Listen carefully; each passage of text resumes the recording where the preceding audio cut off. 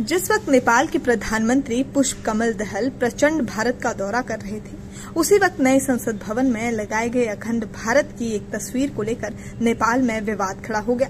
दरअसल हाल ही में प्रधानमंत्री नरेंद्र मोदी ने नए संसद भवन का उद्घाटन किया था। इस भवन में एक विभिन्न चित्र है, जिसे अखंड भारत का नक्शा बताया गया है। इस विभिन्न चित्र में गौतम बुद्ध की जन्मस्थली लुम्बिनिया और कपिल वस्तु को भी भारत के हिस्से के रूप में दिखाया गया है, जबकि लुम्बिनिया को पड़ोसी देश नेपाल दशकों से नेपाली नक्शे में एक बड़े सांस्कृतिक केंद्र के रूप में दिखाता रहा है।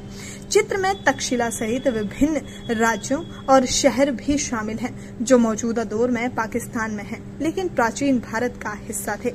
भारत के विभिन्न चित्र में नेपाल के हिस्से को दिखाने के बाद वहाँ की राजनीतिक दल और मुख्य विपक्षी दल भड़क गए।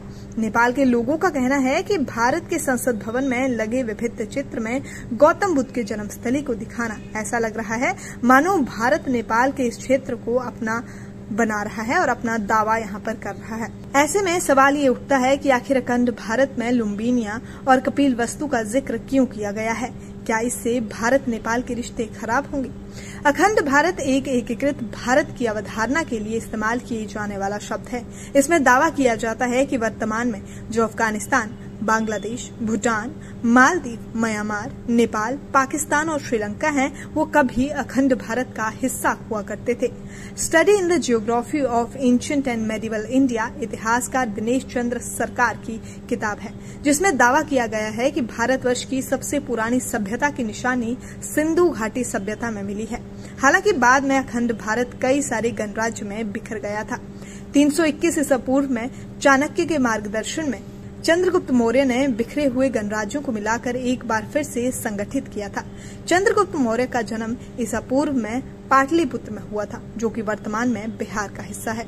अब आपको ये बताते हैं कि आखिर कैसे बिखरता है अखंड भारत। एक सौ पचासी ईसा पूर्व में मौर्य समाज का पतन होने के साथ ही अखंड भारत एक बार फिर से बिखर गया, जिससे शक, सातवाहक, किन शंग दक्षिण भारत में चोल, चोर और पांडव जैसे साम्राज्य बने। श्रीलंका के अखंड भारत के चोल और पांडव साम्राज्य का हिस्सा थे। लेकिन 1310 ईस्वी के बाद श्रीलंका आज़ाद हो गया। बाद में यहाँ अंग्रेज़ों ने शासन किया, लेकिन अंग्रेज़ इसे अलग देश मानते रहे। अफ़गानिस्तान में भी 870 ईस्वी में अरब सेनापति याकूब एल्स, फिर मुगल, और अंत में ब्रिटेन का कब्जा था। साल 1907 में ब्रिटेन ने भूटान को भी अखंड भारत से अलग कर दिया, और वहाँ पर राजशाही की स्थापना की। साल उन्नीस में बर्मा भी भारत से अलग हो गया। साल उन्नीस में पाकिस्तान भारत से अलग हुआ और 1971 में भारत पाकिस्तान के बीच हुई जंग ने पाकिस्तान को दो हिस्सों में बांट दिया, जो कि बांग्लादेश बना। वीर सावरकर की किताब माई ट्रांसपोर्टेशन फॉर लाइफ में अखंड भारत का ज़िक्र किया गया है। इस किताब के अखंड भारत में पाक और चीन, अधिकृत कश्मीर के अलावा पाकिस्तान का सिंध भी शामिल है। वीर सावरकर को ही आरएसएस के अखंड भारत का जनक माना जाता है। साल उन्नीस सौ सैंतीस में हिंदू महासभा के 19वें वर्षगांठ पर वीर सावरकर ने कहा था कि हिंदुस्तान को अखंड रहना चाहिए। इसमें कश्मीर से रामेश्वरम तक, सिंध से आसाम तक शामिल है। अब भारत और नेपाल के बीच नक्शे को लेकर पहले भी विवाद हो चुका है। कुछ साल पहले ही काला पानी के नक्शे को लेकर भारत और नेपाल एक दूसरे के आमने सामने आ गए थे।